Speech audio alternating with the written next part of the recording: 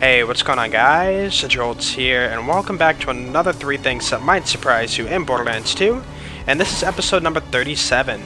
So, if you don't know what this series is, basically I try to find 3 not so well known things about this game, and of course with the help from you guys down in the comments, we show it off in this video. So without further ado, let's go ahead and get started with the first one. For the first one, we're over here at the uh, Steam and Power, and we're out of bounds because it's nice and flat, and it's good for testing like distance stuff. And so running and jumping is actually 1% faster than running without jumping. So you're moving a little bit quicker when you run and jump.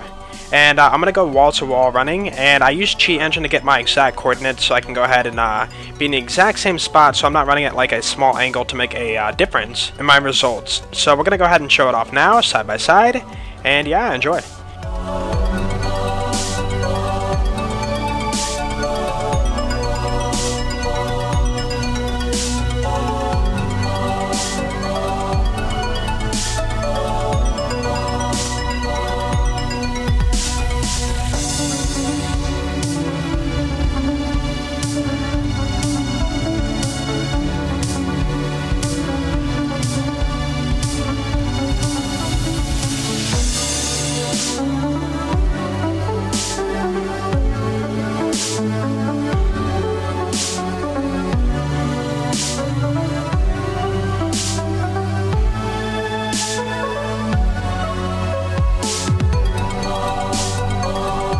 Next one was told to me by Shadow Evil 1996, and uh, if you phaselock a Mimic, which is one of Maya's skills, uh, it makes an enemy become a friendly, um, he will actually do a special animation in which he transforms back into a chest.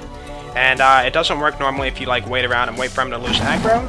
It has to be uh, phaselock. So you can see here, we'll uh, phaselock him, he's now mine, and he transforms back into a chest, which is pretty cool.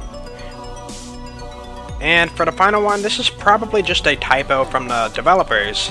Uh, but you can see here I have all these Slayer of Terramorphous class mods for all the characters. And uh, look at the word of. You can see it's spelled with a capital O uh, for all the characters except for Krieg. They actually spelled it with a lowercase o. Uh, why that is, I have no idea. Like I said before, probably just a typo. So there you have it guys, hopefully you learned something new. And of course, if you have any surprising things to share about this game, uh, go ahead and comment them below. And uh, who knows, maybe I might use your suggestion in a future episode.